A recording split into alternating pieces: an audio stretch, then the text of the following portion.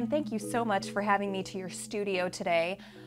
I've been here for 10 minutes and I feel like we already know each other. Let's let the audience get to know you. Tell me when you fell in love with art. I remember my first or second grade teacher asked us to do a drawing for a Civil War scene. and I ended up doing a Civil War scene that went all the way across the chalkboard, a 30 foot chalkboard, and I didn't want anyone else to participate. That was my idea, so. Did you feel like you were a natural? Did it, did it feel like you were better than the other kids? If I wasn't, I was gonna be. Interesting. So did you set that goal right then? I don't think I was conscious Cognizant? enough. Yeah. So I when just- did the consciousness come? Mm, Probably 10 years ago. Really? Yeah. Okay, so fill in fill in the gap there from from first second grade to 10 years ago. Well, everybody has an understanding of what they think an artist is. And I kind of always went through my whole life thinking I was never going to be good enough to be considered an artist, no matter, you know, it wasn't a matter of the quality of the picture, it was, it was still couldn't claim, still couldn't claim the label. And then I was at a family reunion and I was talking to my nephew and just said, I'm an artist from here on. Whatever that entails, I'm going to claim it. What do you think clicked? Consciousness. Mm. So you feel like you finally tuned in to who you are It- supposed to be. It tuned into me. I can't claim it. I remove any any labeling and just allow.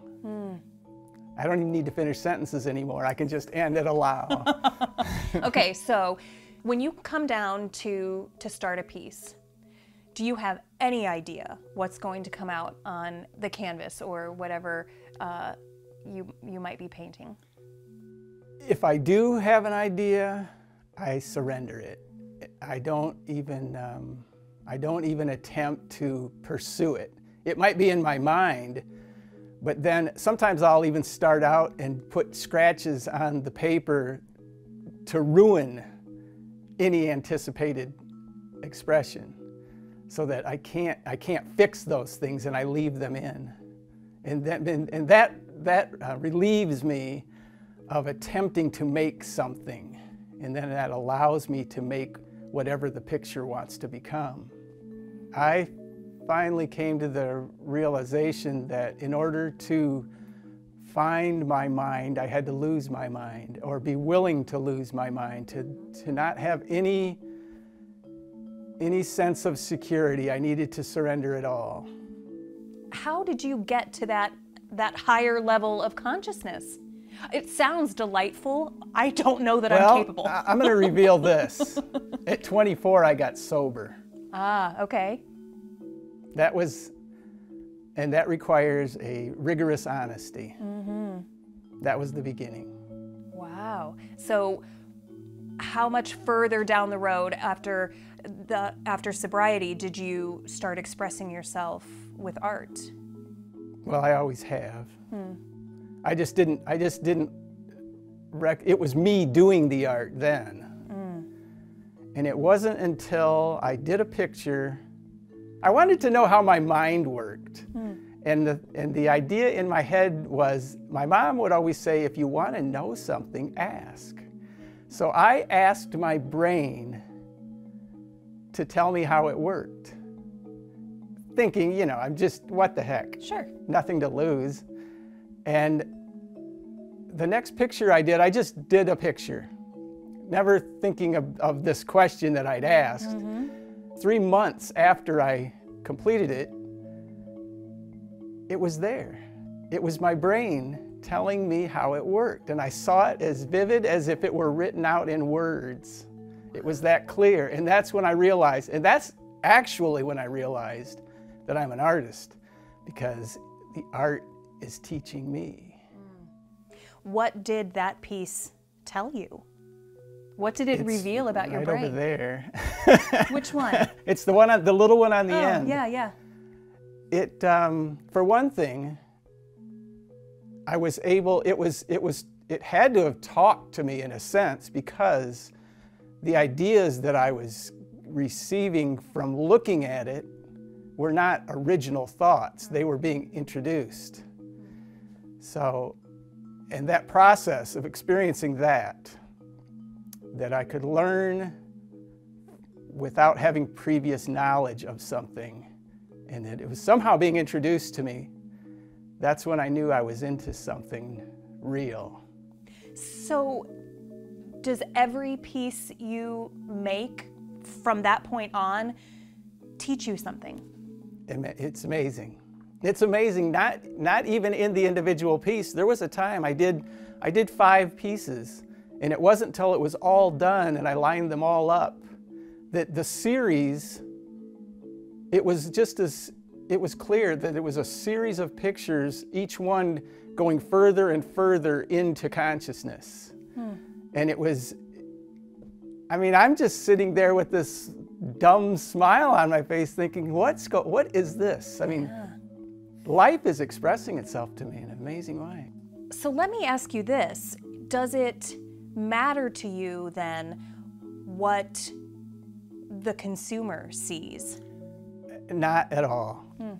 And Kurt Vonnegut, I, I, need to include this. Kurt Vonnegut, and this is a paraphrase, but he said, artists are amazing creatures. They're mankind trying to become something else.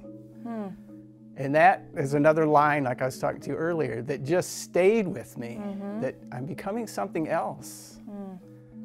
So it doesn't, there's no, there is no, what, what, matter, what matters whether there's a consumer? That's not even what I am that's so it's really interesting for me to think of it that way because most of the artists I talk to, I I would venture to say make their art for an end user. Um, they feel like they are artists because they produce work for other people.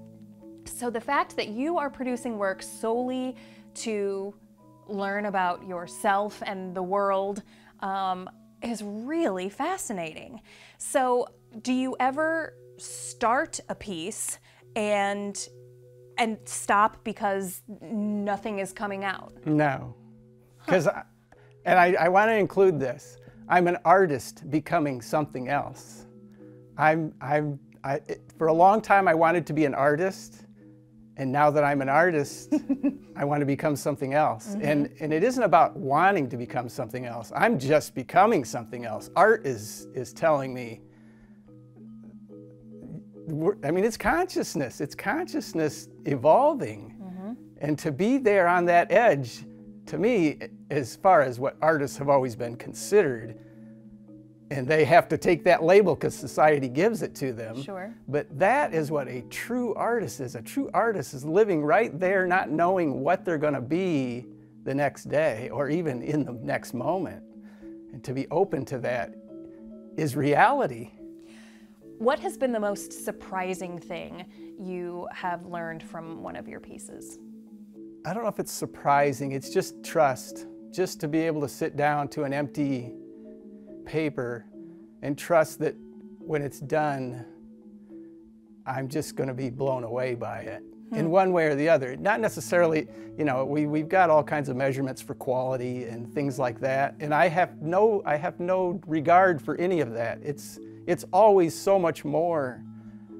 The expression is always so much more than I could have ever preconceived that it's, it's just a, it's a wonderful experience. So is it safe to say that you are never disappointed by a piece or um, that sometimes it doesn't speak to you uh, like you wish it would? Those see, those are just indicators. Those are that, mortal thoughts. those are those are indications to me that I'm I'm in the I'm identifying I'm, I'm misidentifying. Okay. There's nothing in me that allows to be disappointed. If I am, I'm I'm being foolish. So to you, none of this really has to do with art? Not in the conditioned definition. Hmm. How do you define art? I don't know that I do. Hmm. I mean, as soon as I do, it's something else. So I could, I could de continually define it at each moment, and it would just become something else. I'm fascinated by you. I'm fascinated by your work. Um, I'm fascinated that you don't consider it work. Um, what is the greatest joy that art gives you?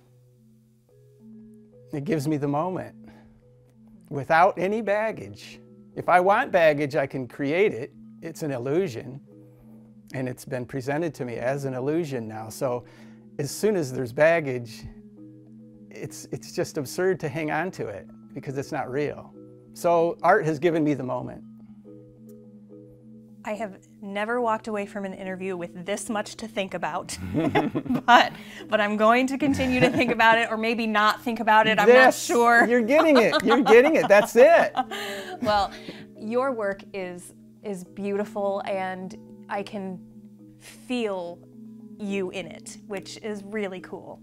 Thank you for this conversation and, uh, and for taking the time to talk with me today. I was so excited. now I know why. Oh, thank you.